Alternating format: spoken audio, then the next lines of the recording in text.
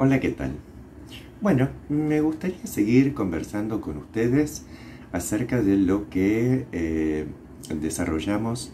en el video anterior sobre la compleja tarea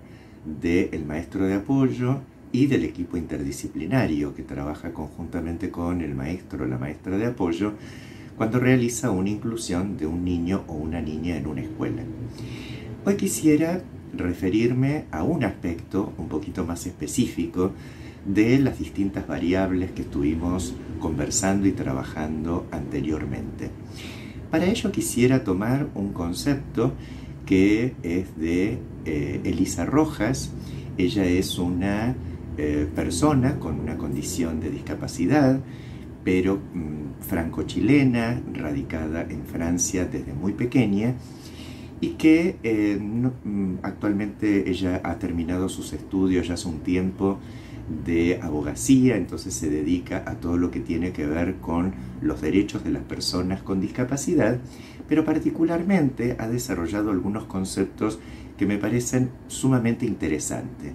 Entre ellos quisiera tomar hoy el concepto de capacitismo. ¿Qué dice ella acerca de qué es el capacitismo? Justamente si lo pensamos en relación a la discapacidad, muchas veces pensada como alguien que tiene dificultades, que no es capaz de realizar muchas cosas, ella dice que el capacitismo tiene que ver con esto, con la mirada que las personas, que la sociedad eh, tiene acerca de las personas con discapacidad.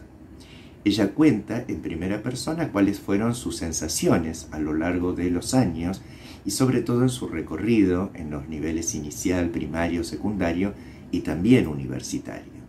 Si bien estamos hablando de hace unos 20-25 años atrás, ella, por su discapacidad motora principalmente, encontró muchas barreras y obstáculos en relación a todo lo edilicio y también en el uso de las tecnologías que a medida que fue pasando el tiempo ella fue adquiriendo, pero más en la universidad que no estaban tan desarrollados en la época cuando ella era más niña o adolescente, entre muchas otras cosas. Sin embargo, ella pone el acento en lo que sentía afectivamente frente a las miradas de sus compañeros. Y por eso desarrolla el concepto de capacitismo. Ella lo que sentía desde muy pequeña y sobre todo cuando ingresa más a la escuela eh, de nivel primario, era la mirada de sus compañeros y también de la escuela, de sus maestros y maestras, de qué era capaz, de qué era capaz esta niña con tantas dificultades, con tantas dificultades motrices, dificultades para escribir. Este, no presentaba dificultades para la expresión del lenguaje y tampoco a nivel de su inteligencia. Sin embargo, estas otras barreras u obstáculos impedían que ella se pudiera expresar y desarrollar de manera más adecuada a sus posibilidades. Ella dice que esto la afectó a nivel emocional, es decir, que lo que ella sintió era que la escuela no estaba preparada para recibir a una niña con esta condición muy visible, muy notoria. Ella está en una silla de ruedas desde prácticamente muy, muy temprana edad este, más otras dificultades, eh, lógicamente, que tiene eh, eh, en sus brazos, en las extremidades superiores. Este, y además por su tamaño muy pequeño. Entonces, este, había una doble mirada de qué es capaz y también la mirada de la lástima, ¿no? Qué lástima que le pasó esto, pobrecita, mira el aspecto que tiene, recibía muchas burlas, eh, la escuela entonces y los maestros y los propios alumnos no sabían muy bien cómo manejar esta situación.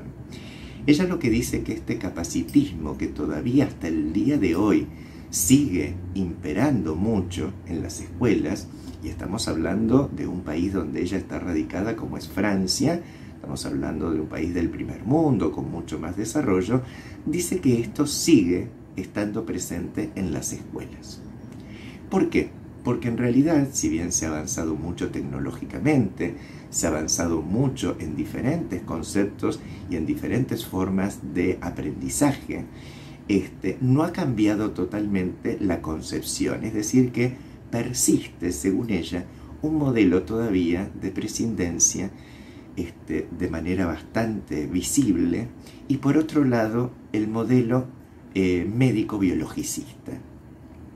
donde permanentemente, cuando ella tenía alguna dificultad, la referencia que hacían era que los que la atendían por fuera de la escuela trataran de resolver estas dificultades. Entonces,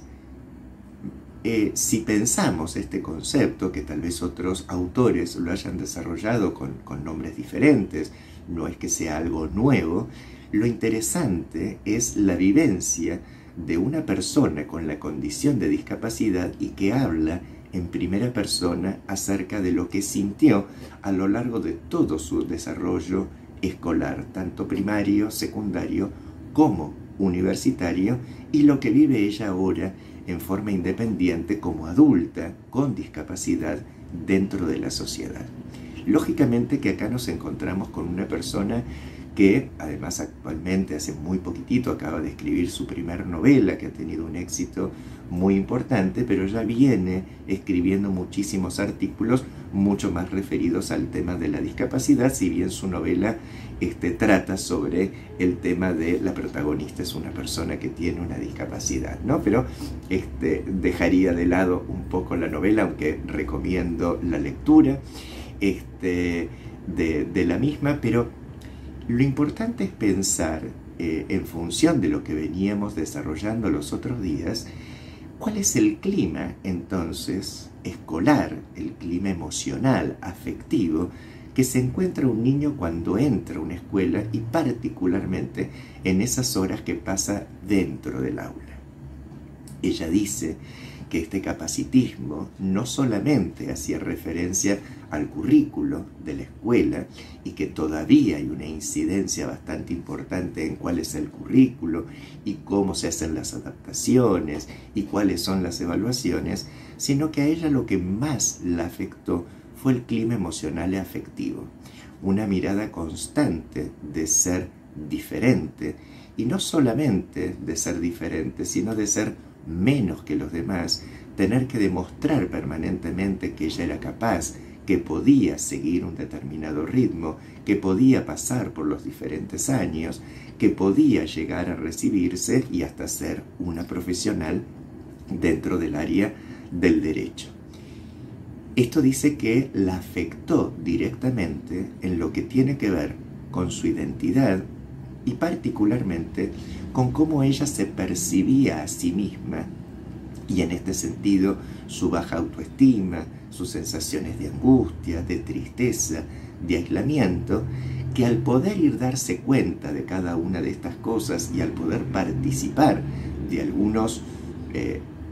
digamos, hechos que fueron cambiando a lo largo del tiempo y de asociaciones de personas con discapacidad, otra de las cosas que ella marca era sentirse muy sola en la escuela porque era una de las pocas personas con discapacidad dentro de todo el establecimiento. Hoy por suerte encontramos que en una misma escuela hay varios niños que a veces dentro de la escuela están realizando su adaptación o bien dentro de un aula más de un niño o una niña están haciendo una inclusión escolar. Esto permite entonces, sobre todo si la escuela tiene una población muy variada, y esto es lo que recomendamos generalmente a las familias, tratar de encontrar escuelas de que si bien a veces quedan un poco lejos de las casas y esto traen algunos inconvenientes, poder encontrar aquellas escuelas que tengan una población diversa. Esto va a implicar que disminuye la sensación de diferencia que tiene ese niño va a estar sintiéndose mejor entre sus compañeros y por otro lado va a incidir también en el rendimiento académico.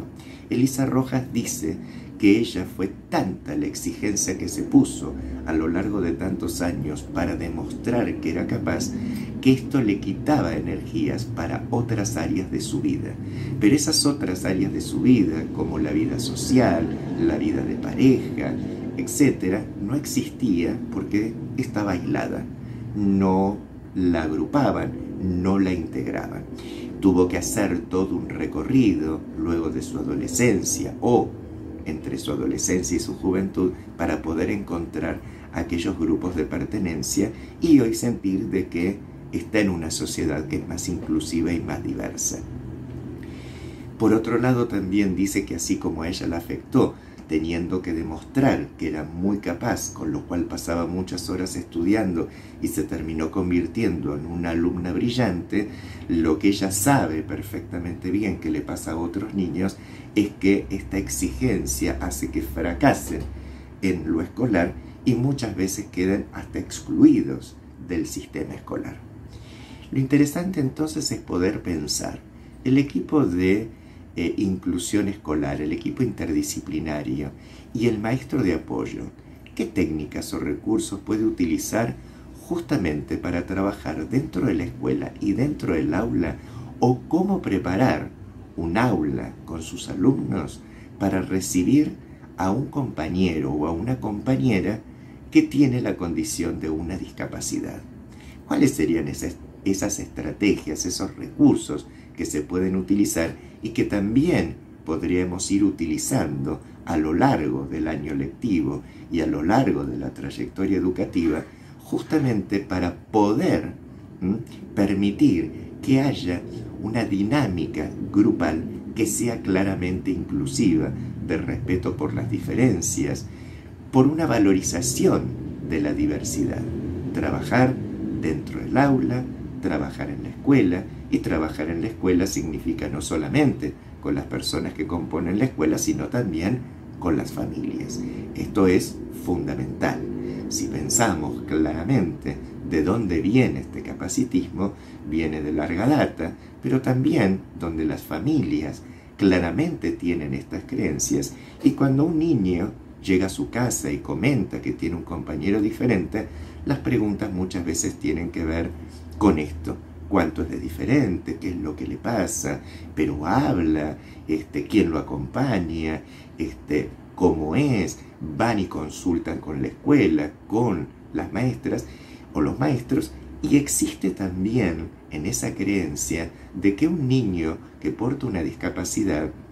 y si la discapacidad es intelectual, puede nivelar al grupo hacia abajo.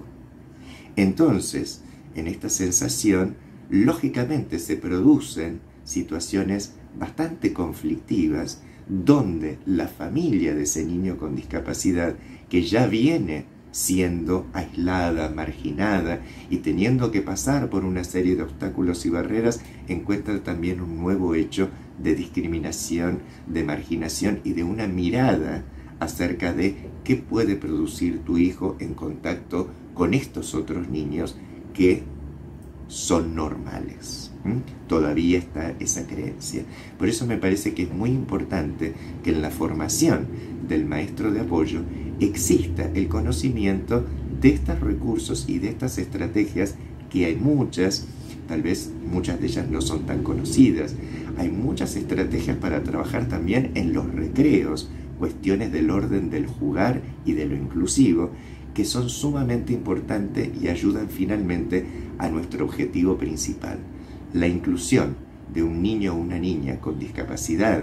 en una escuela es una inclusión social fundamentalmente y luego escolar. Es decir, que no debemos olvidarnos que lo más importante es que ese niño persiga en su inclusión las mismas los mismos objetivos que perseguimos con cualquier otro niño cuando lo enviamos a una escuela. Entonces, tal vez sea interesante desarrollar estas técnicas y estrategias